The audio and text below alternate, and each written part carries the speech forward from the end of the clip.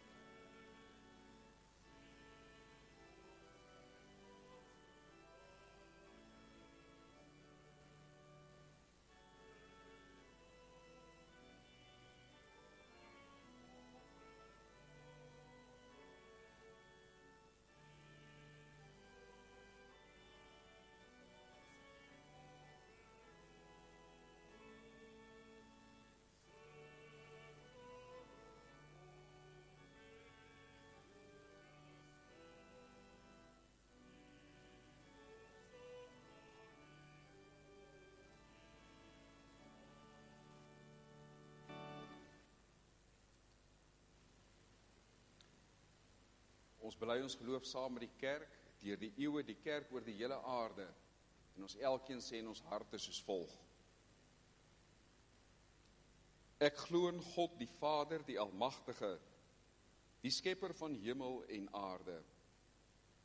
En in Jesus Christus, sy eniggebore seun, ons Here, wat ontvang is van die Heilige Gees, gebore uit die maagd Maria, wat gelei het onder Pontius Pilatus, gekruisig is, gesterf het en begrawe is wat die angste van die hel ondergaan het.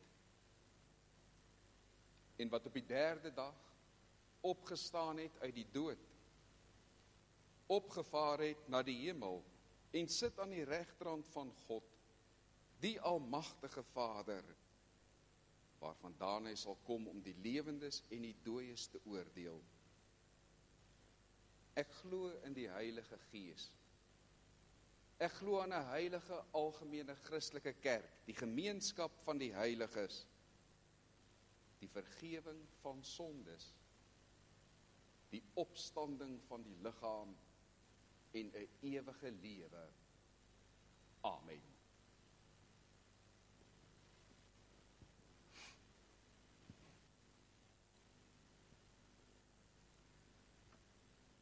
Broeders en susters, ons gaan nou luister na die wet van die Here ons God uit Eksodus hoofstuk 20.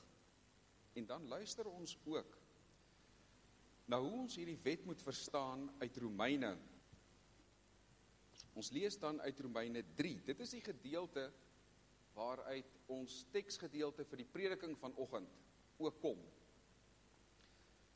Ons teksgedeelte vir die prediking is ons betoog is tog is tog dat 'n mens vrygespreek word omdat hy glo nie omdat hy die wet onderhou nie Broeders en susters luister nou in die lig hiervan na die wet van die Here ons God en besef daarin ons onmag dat ons voor God in sonde staan en onsself nie kan verlos nie. Toe het God al hierdie gebooie aangekondig.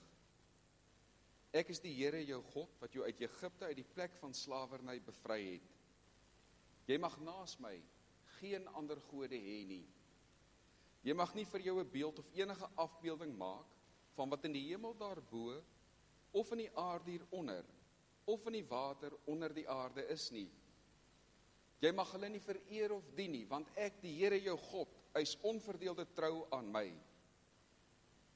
Ek reken kinders die sondes van hulle vaders toe, selfs tot in die 3de en 4de geslag van die wat my haat. Maar ek betoon my liefde tot aan die 1000ste geslag van die wat my liefhet en my gebooie gehoorsaam. Jy mag die naam van die Here jou God nie misbruik nie, want die Here sal die een wat sy naam misbruik nie ongestraf laat bly nie. Sorg dat jy die Sabbatdag heilig hou. 6 dae moet jy werk en alles doen wat jy moet, maar die sewende dag is die Sabbat van die Here jou God. Dan mag jy geen werk doen nie, nie jy of jou seun of jou dogter of die man of vrou wat vir jou werk of enige dier van jou of die vreemdeling by jou nie. Die Here het in 6 dae die hemel en alles daarin gemaak, die aarde en alles daarop, die see en alles daarin. Op die sewende dag het hy gerus. En daarom het die Here dit as gereelde rusdag geheilig. Eer jou vader en jou moeder. Dan sal jy lank bly woon in die land wat die Here jou God vir jou gee. Jy mag nie moord pleeg nie. Jy mag nie egbreek pleeg nie. Jy mag nie steel nie. Jy mag nie vals getuienis teen 'n ander gee nie. Jy mag niemand anders se huis begeer nie. Jy mag nie sy vrou begeer nie ook nie 'n slaaf of slavin, 'n bees of 'n donkie of enigiets anders wat aan hom behoort. Paulus sê in Romeine 3 as hy die situasie van die mens beskryf Waarop kom dit neer? Is ons as Jode dan beter as die ander? Glad nie. Want ons het al bewys dat Jode en nie-Jode almal in die mag van die sonde is. Daar staan immers geskrywe: Daar is nie een wat regverdig is nie, selfs nie een nie. Daar is nie een wat verstandig is nie, daar is nie een wat na die wil van God vra nie. En dan skryf Paulus: Maar nou het die vryspraak deur God waarvan die wet en die profete getuig in werking getree. Dit is die vryspraak wat nie verkry word deur die wet te onderhou nie, maar deur in Jesus Christus te glo. God gee dit sonder onderskeid aan almal wat glo. Dis die hart van Paulus se betoog. Ons kan nie dit kom van God Daarom is ons vrygemaak. Daarom is ons verlos. Deur die geloof in Jesus Christus. Broeders en susters, kom ons antwoord op die wet van die Here as Nuwe Testamentiese gelowiges deur nou te sing in die psalms soos wat ek dit opgegee het met die wete dat ons in Christus verlos is en deur die geloof aan ons Here behoort.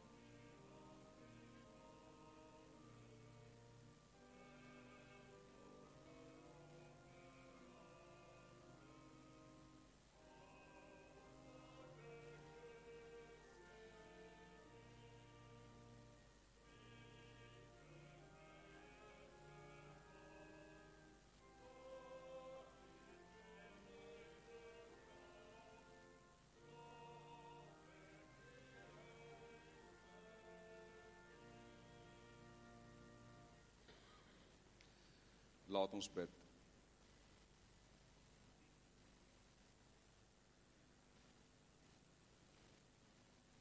Here onsse God, ons kom voor U in ons sonde, in ons onreinheid. Maar ons kom ook voor U in die wete dat U ons sonde van ons verwyder so ver as wat die ooste verwester is, verwyder is van die weste. Gee ons tog 'n begrip, Here, van hoe diep ons geval het. Hoe onmoontlik dit vir ons is om U te erken. Maar Here, dat ons aan U kan vasgryp in U seun in U seun Jesus Christus, ons Here en ons God. Wat die sonde oorwin het deur sy dood en opstanding. En laat ons in verwondering voor U staan oor hierdie wonder wat in ons lewens gebeur het dat ons nou u kinders genoem kan word omdat ons deel het in Christus. Here ons God. Gee hierdie geloof oorvloedig in ons harte. Werk dit deur u Heilige Gees. In al die aanvegtinge wat daar is, in die media, ag in ons lewens, Here, elke dag. Gee dat ons aan hierdie historiese waarheid sal bly vashou. Dat ons U nooit gering sal ag in U dade nie. Dat ons sal besef die opstanding uit die dood is die werklikheid waaruit ons vandag lewe maar tot in alle ewigheid sal lewe. En wil u dan gee dat hierdie geloof gepas getooi sal word in alles wat u behaag dat ons met dade van geloof nou sal lewe. Here ons bid dit vir hierdie gemeente dat U haar as bruid sal voorberei en haar sal tooi lieflik in die kleed van die bruid in die dade van die gelowiges soos U dit vir ons in die woord beskryf. Wil u gaan met elke lidmaat? Wil u elke lidmaat versterk deur die geloof? Wil u gaan met hulle wat verantwoordelik is vir die verkondiging? Met Domie Griffel, Koos, elke een wat u hier roep. Die ouderlinge en die diakens, Laat in hulle werk die stem van ons Here Jesus Christus, die herder van die kudde, duidelik weer klink. Want Here, daarin hoor ons u voetstappe. Die voetstappe van die bruidegom wat kom om sy bruid te kom haal. En in ons omstandighede vandag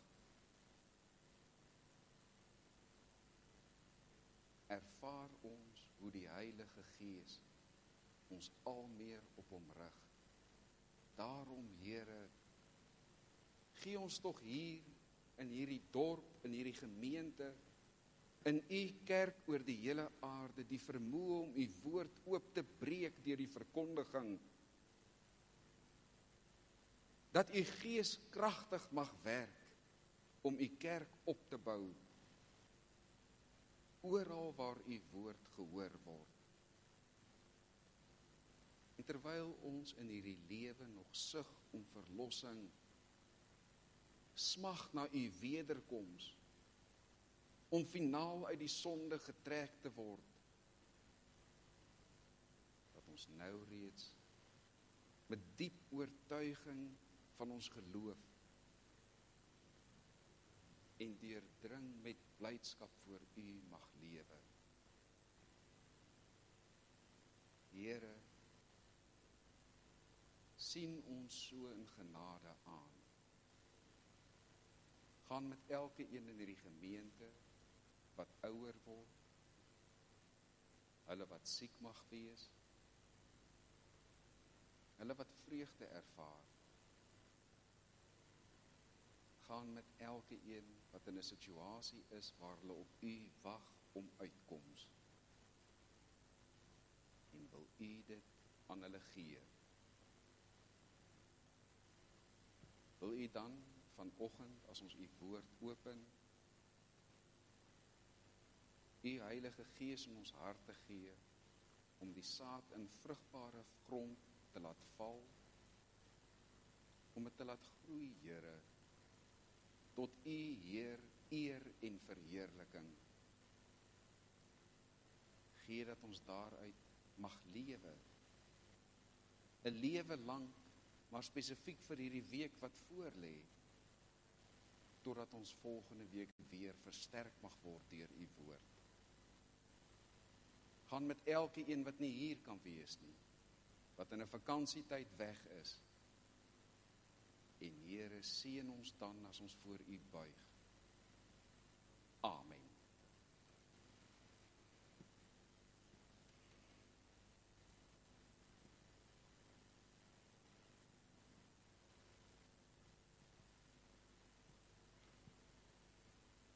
Broeders en susters, kom ons lees saam uit Romeine hoofstuk 3. Ek gaan lees van vers 21 af. Maar dan lees ons ook uit Jakobus. Jakobus 2 vers 24 spesifiek.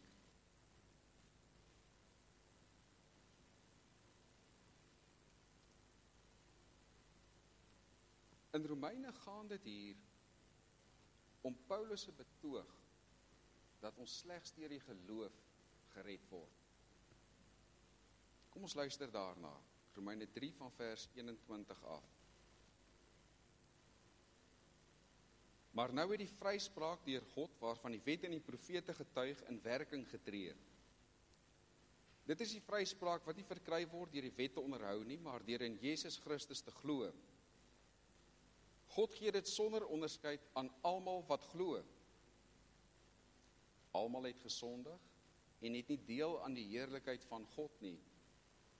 Maar hulle word sonder dat hulle dit verdien, op grond van sy genade vrygespreek vanweë die verlossing deur Jesus Christus. Hom het God gegee as offer wat deur sy bloed verzoening bewerk het vir die wat glo. Hierdeur het God getoon wat sy vryspraak behels. Hy het die sondes wat hy voorheen in sy verdraagsaamheid tydelik ongestraf laat bly het vergewe. Maar hy het ook getoon wat sy vryspraak in die teenswoordige tyd behels. Hy oordeel regverdig deurdat hy elkeen vryspreek wat in Jesus glo. Het ons nou iets uit onsself om op te roem?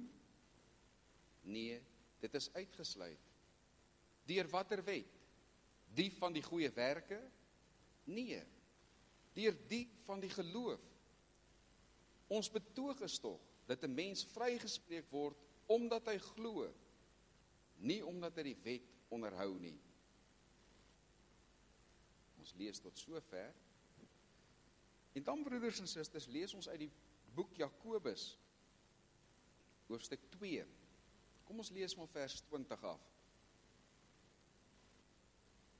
jou dwaas. Wil jy 'n bewys hê dat die geloof sonder dade nutteloos is? Ons voorvader Abraham het sy seun Isak op die altaar gelê. Is dit nie op grond van wat hy gedoen het dat God hom vrygespreek het nie? Jy sien dus dat sy geloof met dade gepaard gegaan het en dat dit eers deur dade volkome geword het. Soos die skrif skrif vervul wat sê Abraham het in God geglo en God het hom vrygespreek. En hy is 'n vriend van God genoem. Jy sien dus dat 'n mens vrygespreek word op grond van sy dade en nie net op grond van sy geloof nie.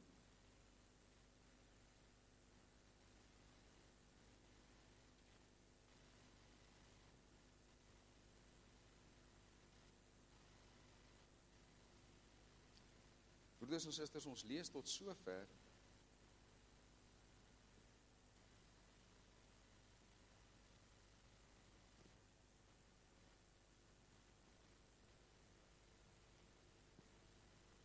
Broeders en susters, dit gaan hier om twee sake.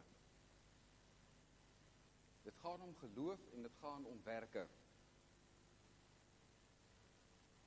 En as mense so vinnig oor hierdie twee gedeeltes kyk, dan lyk dit asof Paulus en Jakobus hier met mekaar in stryd is. En tog dit staan in dieselfde Bybel. Ons dit verstaan? Hoekom staan dit hier? Paulus sê dit gaan oor die geloof en nie oor die werke nie. Jy word vrygespreek omdat jy glo. Nie op grond van jou dade nie. Jy kan soveel as wat jy wil probeer om volgens die wet te lewe. Maar die werke wat jy doen gaan nie vir jou verlossing bring nie. Ons kan die vraag vra of Paulus besig is om hier te ooreageer. U onthou sy agtergrond. 'n Fariseer. Iemand wat veral daarop gelet het om die kerk van die Here te vervolg aanvanklik. En u weet wat die Fariseërs geleer het. Die Fariseërs het hulle beroem daarop dat hulle die wet van die Here kan onderhou. Hulle het byvoorbeeld oor die 600 wette gemaak rondom die wet van God om seker te maak dat hulle die wet nie oortree nie. Byvoorbeeld, die wet dat jy nie op 'n Sondag op op, op die Sabbatdag mag werk nie.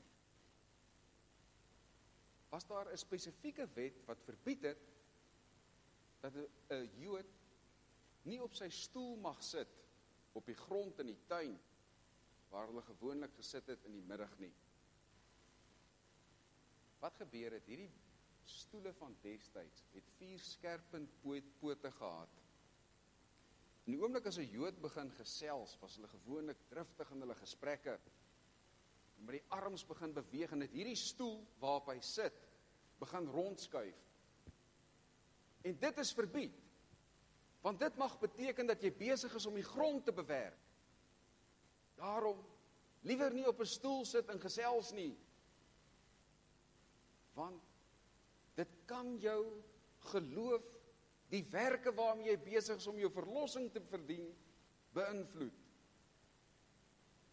Toe kom Paulus tot bekering. En nou is die vraag: Het Paulus nou heeltemal in 'n ooreaksie teen wat hy vroeër jare as Jood, as Fariseer geglo het, nou heeltemal na 'n ander kant toe oorgehaal, oorgehel en gesê: "Nee, geen werke nie. Alleen maar die geloof.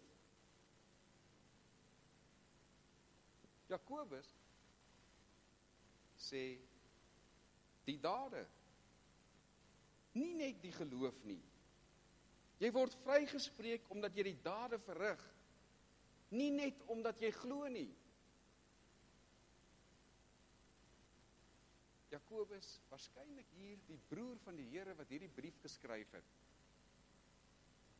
Het hy nog 'n bietjie vasgevang gebly in die ou Joodse tradisies van die tyd?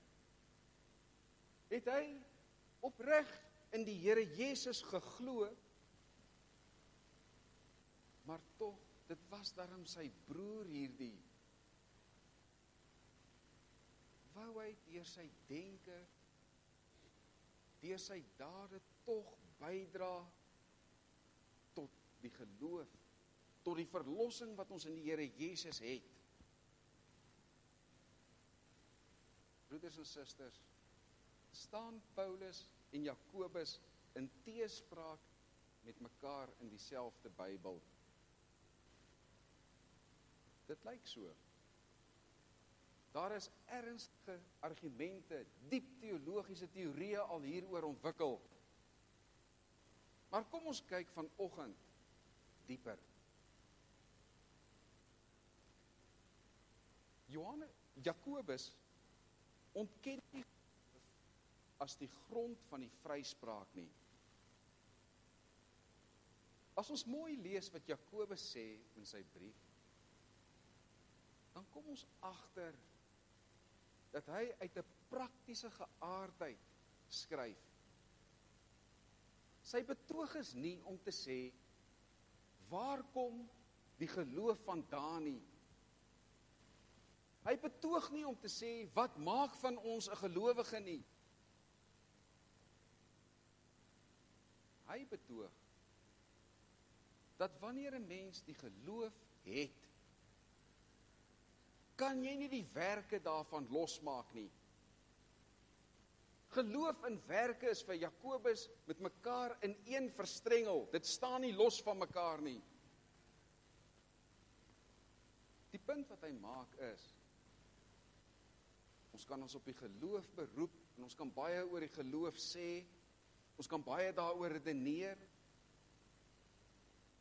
Maar wat help dit jou om hierdie wonderlike geloof te hê waarop jy jou telkens beroep. Maar is 'n geloof wat in niks uitdrukking vind nie. Dis 'n geloof wat nie sigbaar word in jou lewe nie. Waarteen het Jakobus dit?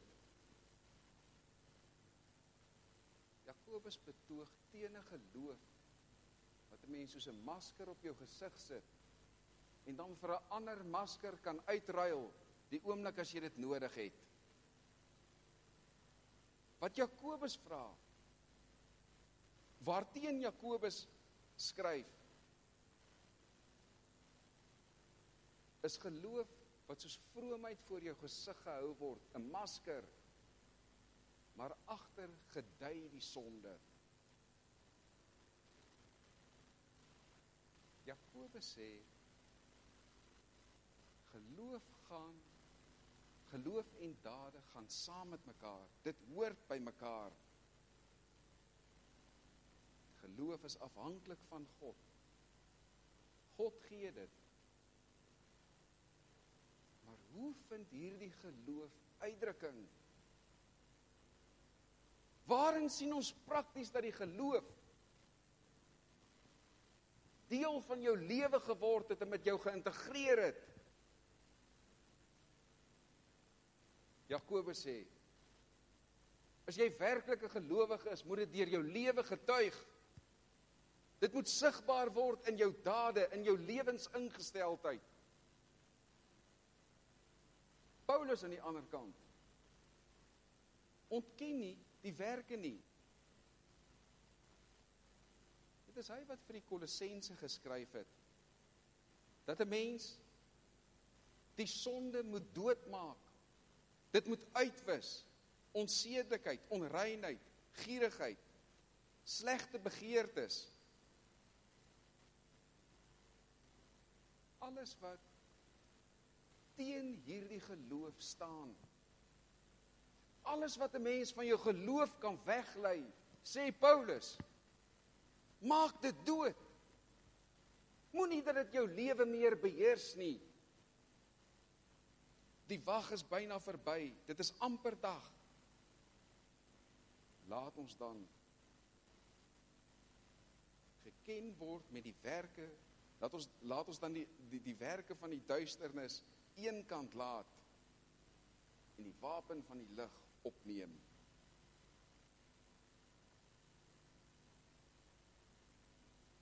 Waarop laat Paulus die klem val? Hy sê 'n Mens kan ook so op die werke konsentreer. Jy kan so jou lewe laat opgaan daarin om alleen maar die goeie werke te wil doen dat jy die grondslag daarvan laat verlore gaan. Paulus beklemtoon werke sonder geloof is dooie werke. Dit help nie om vir al hierdie werke bekend te wees en bekend te staan en dit voortdurend te doen. Maar die basis daarvan het ontwortel is uit die geloof losgeskeur nie.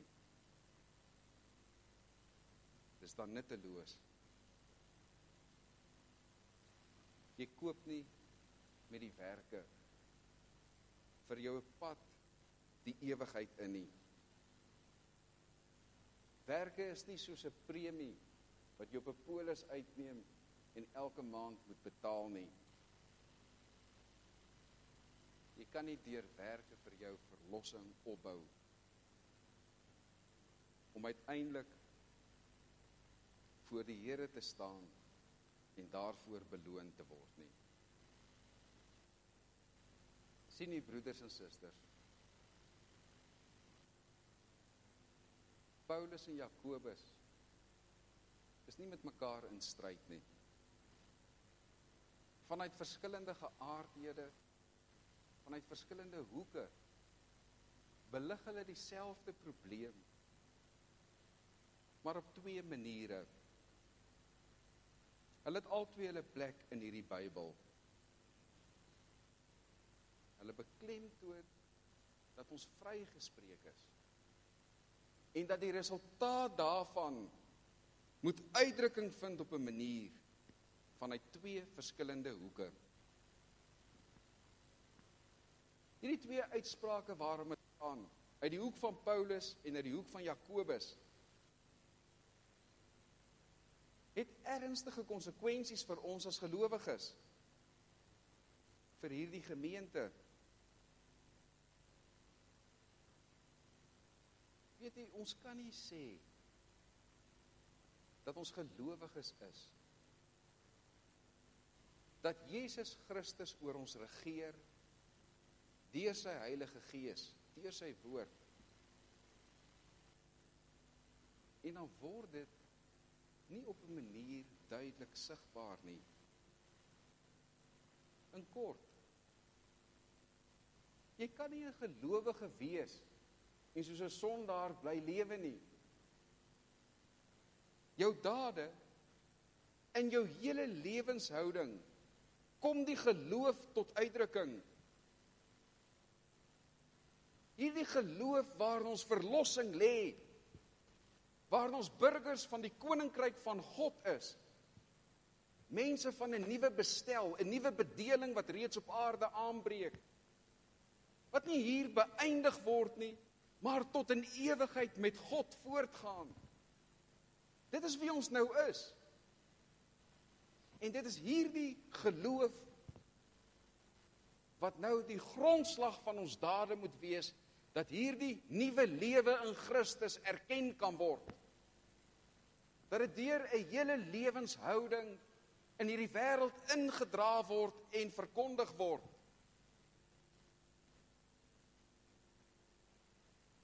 Gelowiges kom kerk toe. Dit is noodsaaklik. Maar broeders en susters, is dit al wat ons moet doen? Weet u, dis 'n wonder. Hierdie ding van kerk toe kom waarop aan ons tradisie so baie klem gelê word. Ek het nou met die vorige punt daarna verwys. Ons is deur die geloof in Christus burgers van die koninkryk van God. Ons is mense van 'n nuwe bestel, 'n nuwe orde wat reeds hier in die wêreld uitdrukking vind. En hoe word hierdie orde prakties sigbaar? Ons noem dit die kerk. Waar sien ons die kerk? Ons sien die kerk by brood en by beker onder die verkondiging van die woord van God. Hoor u? Waar ons saamkom in die erediens, waar ons aan die tafel gaan sit van die nagmaal by brood en by beker. Daar sien ons die volk van God wat tot in alle ewigheid lewe. Hier rondom die tafel met nagmaal. Die burgers van God se koninkryk. Broeders en susters, kan 'n mens dit glo? Kyk hoe lyk ons. Kyk hoe word ons ouer. 'n Mens hou dalk nie eers van elke een nie. Maar dis wie ons nou is. Kinders van God se koninkryk wat hier sigbaar word in die erediens. Maar hoe weet die wêreld dit? Natuurlik, hulle kan van buite af kyk. Hulle kan sien. Maar hier vergader mense op 'n Sondag. In die sin is hulle anders as ons. Die groot insig dat dit God se volk is, mag by hulle verbygaan. Maar broeders en susters, Ons moet kerk toe kom. Dis waar ons die krag kry vir die week. Maar my vraag was, is dit al wat ons moet doen? Hoe word ons geloof sigbaar in die onderlinge meelewing in die gemeente? Maar meer as dit. Hoe word ons geloof sigbaar in ons elke dag se handelinge daar waar ons werk. Weet u nêrens in die Nuwe Testament word daar iets gesê van sendingkommissies nie. Word daar nêrens iets gesê van die kerk wat as gemeenskap teenoor die wêreld moet getuig asof dit so, so asof die kerk as 'n ding hier eenkant is wat teenoor die wêreld staan nie. Die Nuwe Testament getuig daarvan elke gelowige deur sy lewe 'n sout vir die wêreld en 'n lig is wat skyn. Deur woorde en dade getuig die kerk van die Here. Dan moet ons vra in ons onderlinge gemeenskap.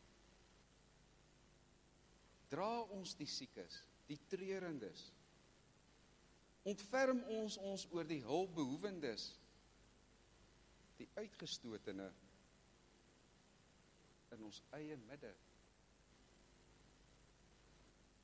Broeders en susters, dan moet ons vra, hoe lyk my lewe daar waar ek werk? Kan die een wat vir my werk werklik sê maar die geloofsdade van hierdie persoon trek my nader. Dit laat my ten minste vra wat is anders by jou as wat by iemand anders is wat nie glo nie? Wat het jy ontdek wat jou lewe anders maak? Wat het jy waarvan ek dalk selfs 'n deel sal wil hê. Hoekom? Omdat hierdie geloof wat in ons lewe daarvoor vra om sigbaar te word. Dis 'n geloof van dade. Nie begrond op die dade nie. Begrond in die geloof wat Jesus Christus aan ons gee. Broeders en susters, hierdie preek het begin met die vraag: is daar 'n teenstrydigheid tussen Paulus en Jakobus se siening oor geloof en dade.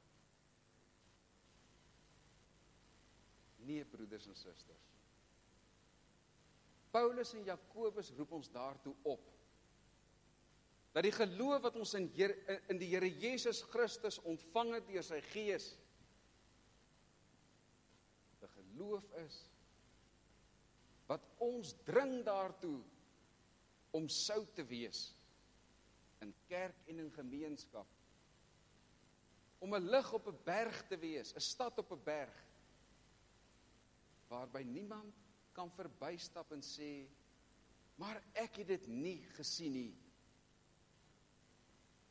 Geloof en dade hoort saam. Met beskeidenheid, met versigtigheid. Maar ons is nou kinders van die Here. Sy koninkryk het gekom. Ons is die burgers. Ons dra dit verder in leer en in lewe elke dag. Soms voel dit op die swaar kry ons kan onderdompel. Soms het ons vreugde. Maar altyd met die wete uit die geloof kan ek getuig van die hoop wat nou in my lewe Jesus Christus ons Here. Amen.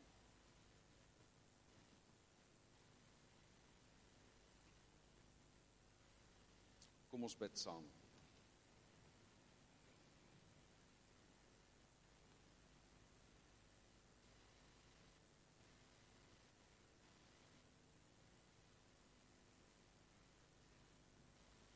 Here ons God. Ons dank U vir die genade dat ons verlossing nie van onsself afhang nie. Maar dat al ons dade wat ons doen omdat U aan ons die geloof gee 'n heerlike dankoffer voor U mag wees. En daarom bid ons, lei ons nou deur U Heilige Gees dat alles wat ons aanpak alles wat ons beplan Here dat ons ganse lewe werklik 'n offer vir U sal wees en bewaar ons daarvan om nadat ons beplan het nadat ons gedink het en selfs nadat ons gedoen het u dan by ons planne te probeer betrek. Laat ons u in alles eers opsoek. Gee dat ons waarlik uit die geloof sal lewe en wil u dan gee dat die werke van ons hande nie by u verby sal gaan nie maar dat u u daaraan sal herinner en ook dit wat ons doen sal omweeg om in die opbou en die uitbreiding van u kerk en koninkryk op aarde diensbaar te wees. Here seën ons om Jesus Christus ontval. Amen.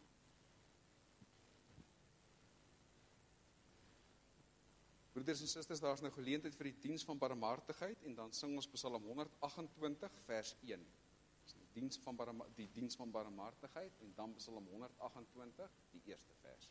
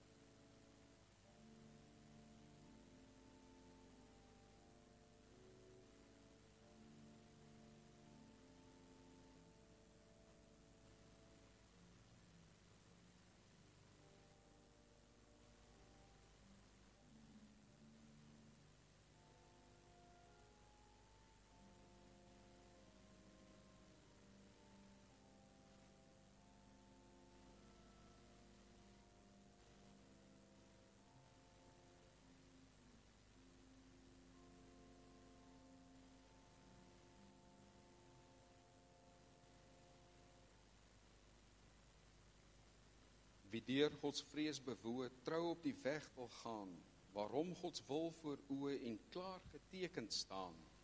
Die arbeid van sy hande sal hy met vreugde geniet wanneer die koring lande met seën hul opbrengs bied. Psalm 108 Psalm 128 vers 1.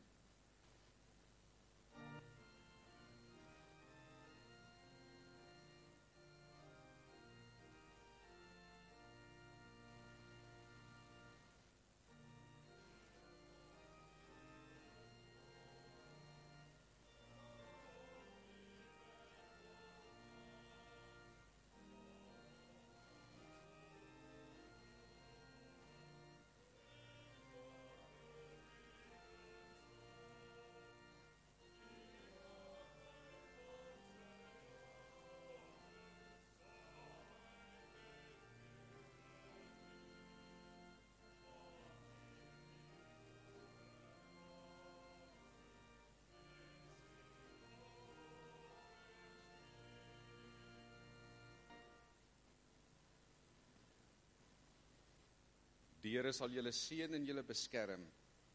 Die Here sal julle tot julle redding verskyn en julle genadig wees. Die Here sal julle gebede verhoor en aan julle vrede gee.